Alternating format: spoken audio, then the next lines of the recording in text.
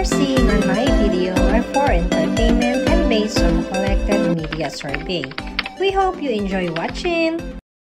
Main Mendoza may bagong project. Lock-in taping kasama si Alden Richards. Matagal na ngang walang update ang bawat management ni na Alden Richards at Main Mendoza kung kailan ba ulit sila muling magkakasama. At kailan lang ay napabalita nga sa social media na pumayag na di umanong magkasama muli sina Main at Alden sa isang project sa GMA7.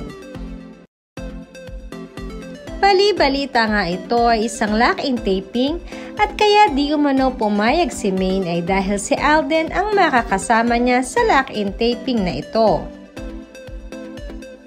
Ito nga ang matagal ng pinakahihintay ng napakaraming fans ng dalaga ang makitang muli silang magkasama. Sinasabing napapayag di umano si Alden at Maine dahil sobrang miss na miss na nila ang isa't isa. Ito ay dahil matagal na din silang walang project together at upang mapagbigyan na din daw ang napakaraming followers nilang dalawa.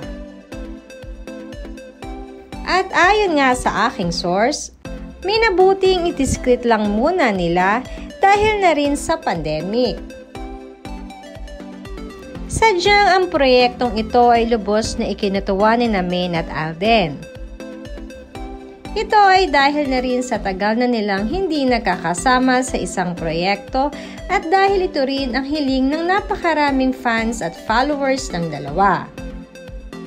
And that's the latest update for Alden Richards and Main Mendoza. If you're new to my channel, kindly like, share, please consider subscribing na rin para updated kayo sa mga bagong showbiz chika. Thank you guys for watching!